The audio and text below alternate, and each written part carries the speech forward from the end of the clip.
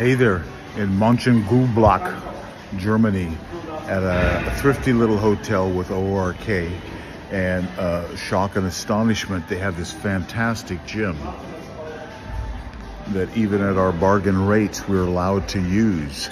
And uh, believe me, after sitting in that van for, it's been about a week already, uh, crunched back there, the back, the shoulders, everything is aching. So it's fantastic to find rowing machines. I love my rowing machines.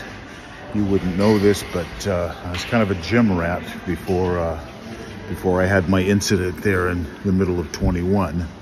Uh, but right after COVID, when we came back from Japan in uh, uh, February of 20, as COVID hit, I bought one of these, a Concept 2 that I keep in my house and I love to row every day. 20, 30 minutes, if I can get that, that starts my day great.